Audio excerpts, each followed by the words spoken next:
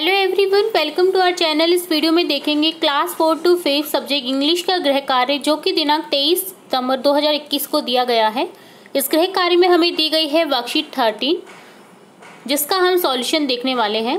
तो स्टार्ट करते हैं सॉल्यूशन फ़र्स्ट क्वेश्चन है fill in the blanks with appropriate adverb इस वर्कशीट में हम सीखेंगे एडवर्ब्स का किस तरह से सेंटेंसेज में यूज़ किया जाता है।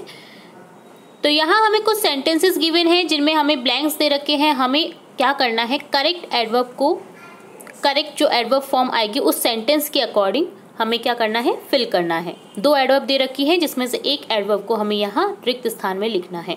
फ़र्स्ट है we should drive car blank carefully और केयरलेसली यहाँ होगा carefully we should drive car carefully second है I blank go to bed at nine o'clock always और क्लियरली यहाँ लिखेंगे always I always go to bed at nine o'clock third है he move the heavy box blank यहाँ लिखेंगे easily he move the heavy box easily fourth है my mother blank cooks delicious food यहाँ लिखेंगे easily और usually में से usually my mother usually cooks delicious food fifth है you must blank smoke here never और ऑलवेज यहाँ लिखेंगे never you must never smoke here second question है choose only adverbs from the given box and make new sentences based on it यहाँ हमें choose करना है adverb form को box में से, और हमें न्यू सेंटेंस बेस्ड बनाने हैं इन एडवर्ब्स फॉर्म के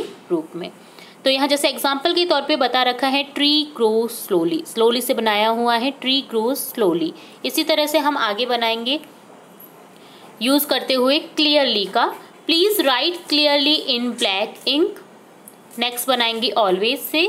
You are always welcome to stay with us next बनाएँगे यूजुअली से. The journey usually takes an hour next बनाएँगे नेवर से she never clearly saw his face next बनाएँगे फास्ट से. It was a fast train next बनाएँगे slow या slowly से. The cars on the road are all moving slow और slowly तो ये था four to fifth subject English का गृह कार्य.